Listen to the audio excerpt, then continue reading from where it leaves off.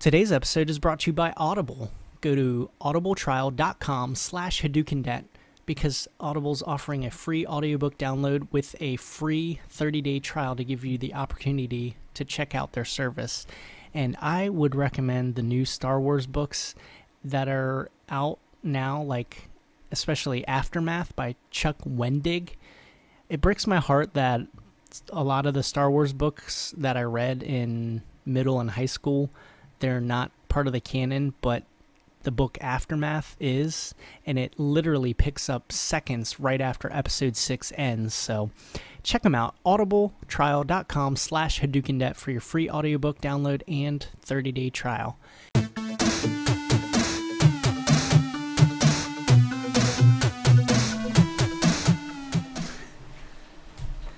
He'll be a part of the show.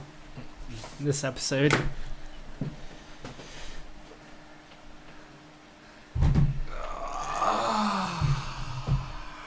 They should do shirt changes in between episodes. I know. That's what I, I was gonna text you that, but I didn't want to be like, oh, another thing I gotta do. You ready? Yeah, Are you already recording? yeah, that whole time. I'll edit it. Till. Yeah, please do. oh, this is an exciting show. Barrett's staring at his phone. No, I yeah, I wouldn't put that on YouTube. so I wanted to give you your book back. okay. I read it in a day. Aw, It a whole day. Yeah, it was really good. God, It was a Saturday. Didn't have anything else to do. Wow. The book is called It's All Fun and Games by Dave Barrett, who my kids apparently think that I'm related to because they don't know how last names work. but they're like, You're related to him. I'm Uh-huh. like, No, he's, his last name is my first name. but I really enjoyed it. It was fun. Nice. I wasn't sure I would because I don't really care for live action role playing, Uh huh. but it took off. So it was kind of Yeah. interesting. Once it turned into like An the actual real fantasy thing. book. Yeah. Yeah. So it's a book about LARPers in the woods for a weekend, mhm. and then at some point when they're walking through the woods, it turns into real yeah. life. so Um, they're role playing and then go through the woods. Magic happens and they're really fighting.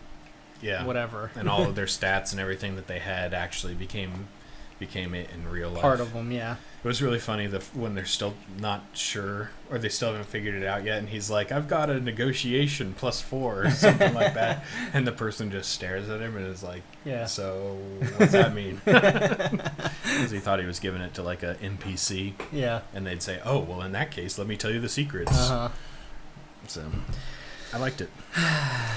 So I'm waiting for the sequel. Mm-hmm. Do you know anything about Mm-mm. follow-ups or anything like that? I, I, I won that book from a Nerdist Uh huh. um, contest, so hopefully he he'll put out something else. I think he's a teacher. Dave Barrett is a teacher of some sort. hmm Yeah.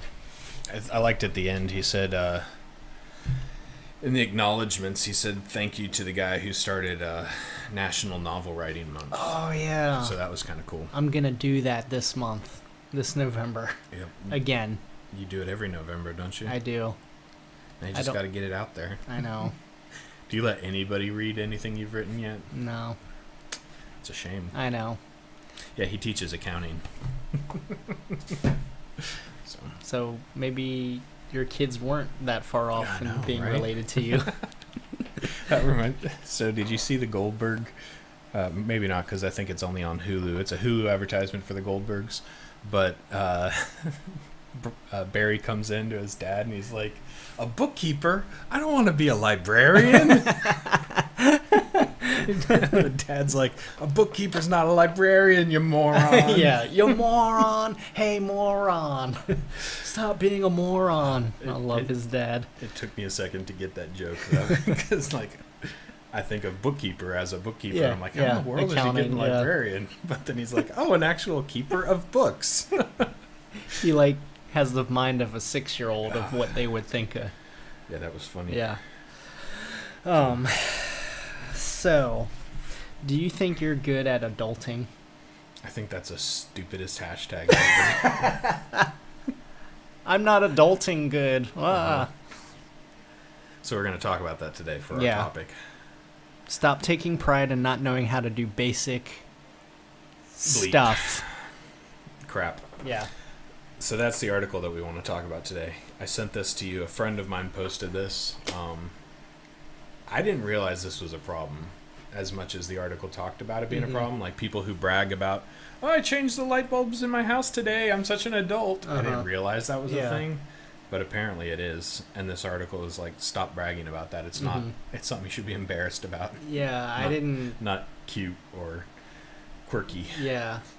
And I think definitely like TV shows have played into that. Mhm. And like we watch it and like, ah, that's funny. Oh, Mhm. that's cute. Oh, you spent all your money on, you know, shoes and you don't have money for food and lights and Mhm. electricity. Oh, ha ha ha ha. Somebody knocks on your door and they're like, "You texted me, said it was an emergency. What is it?" And they come in and they're like, "Can you take this lid off of this jar I of peanut yeah, butter for yeah. me?" or something like that. It's like, ha. Okay, Cody, come on. Yeah. So I I don't think I ever took pride in like not knowing how to cook or Mhm. whatever. Like, oh, I guess I'm gonna go out to eat again. Ah, you know. Mhm. I just I don't know. I just it's like this prolonged we live in a like society now where like there's this prolonged adolescence now, I Mhm. think, you know. And I guess it's just more accepted. Mhm. So I I mean and people are fine with it. They're Yeah. like, "Oh, you don't know how to do that? Okay." I'll It's pay- funny. pay me and I'll do it for you, Yeah. kind of thing. Yeah, I th- I th- and the article's quick to point out it doesn't mean you have to be perfect and know how to do everything, but Mhm. the point is don't brag about the things you don't know. Yeah. If you actually want to learn them, and I think that's my point, and it is go learn these things. Yeah. Don't revel in the fact that you don't know how to do something. Uh-huh. Go figure it out. It's, it's nobody else's job to teach you how to do it. Yeah. So I like that. There was this part in the article when it says you don't ba- you don't wake up one day and magically know how to do things Mhm. that being an adult requires. We didn't just wake up one day and understand how investing and personal finance and budgets and Mhm. and being dads and being husbands and all this kind of stuff Yeah. worked.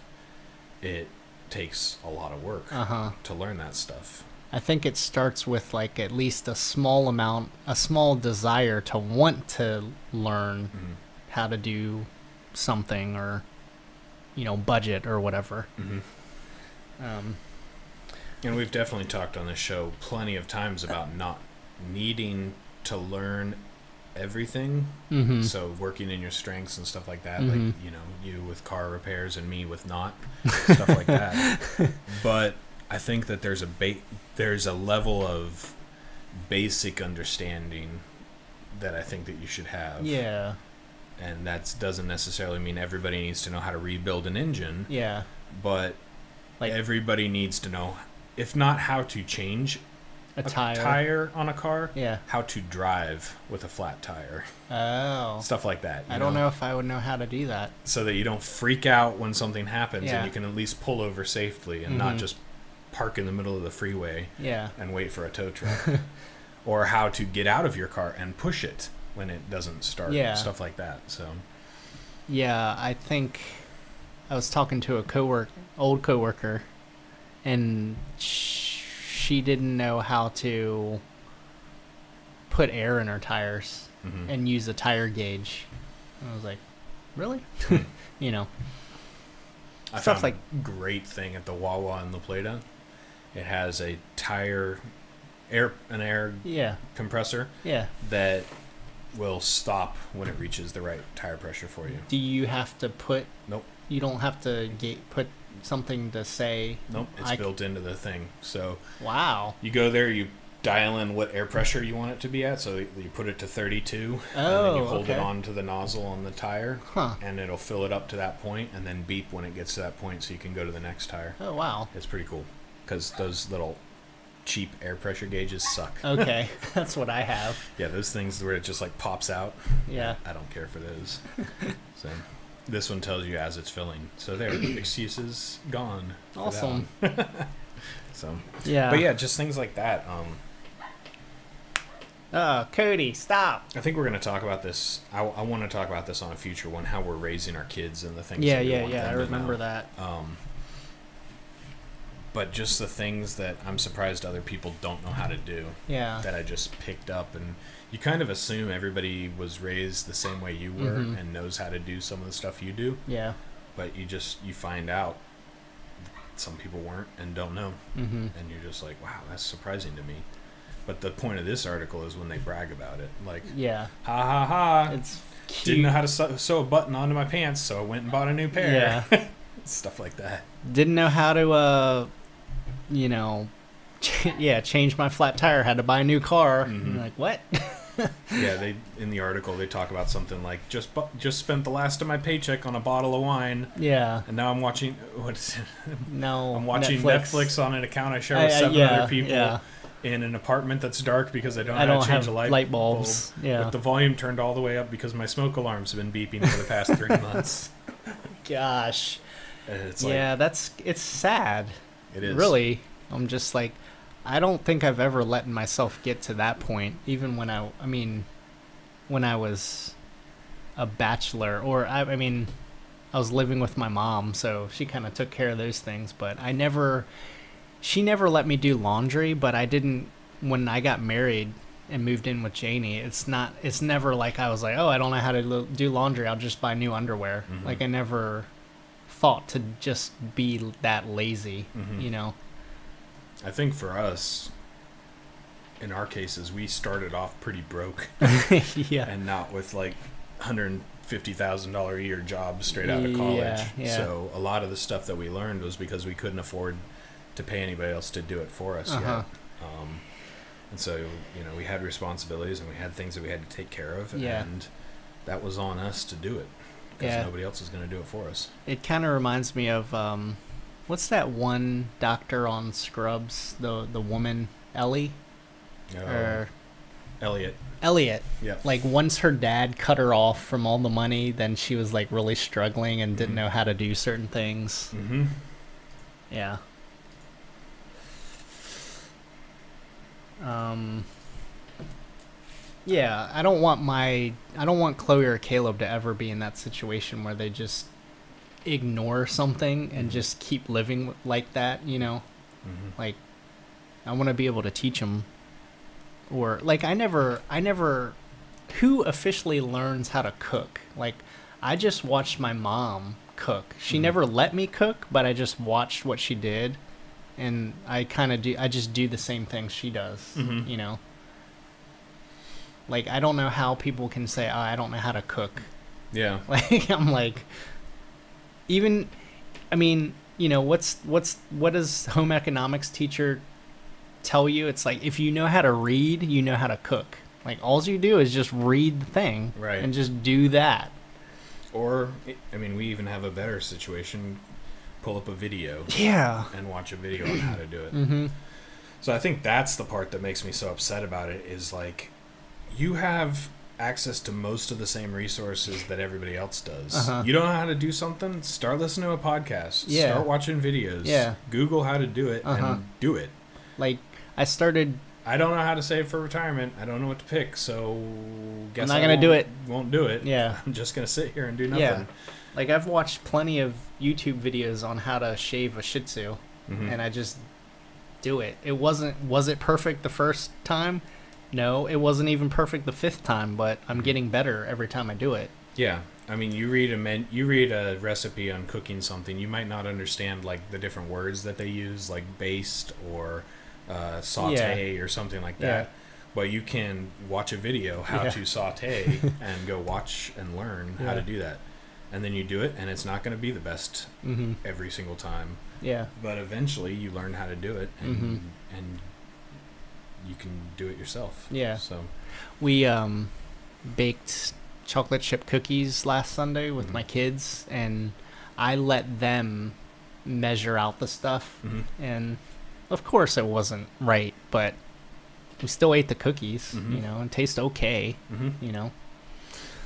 Yep. We just have such a uh, high standard for ourselves. Like, if it's not perfect, I'm not gonna do it ever, Mhm. and that's final.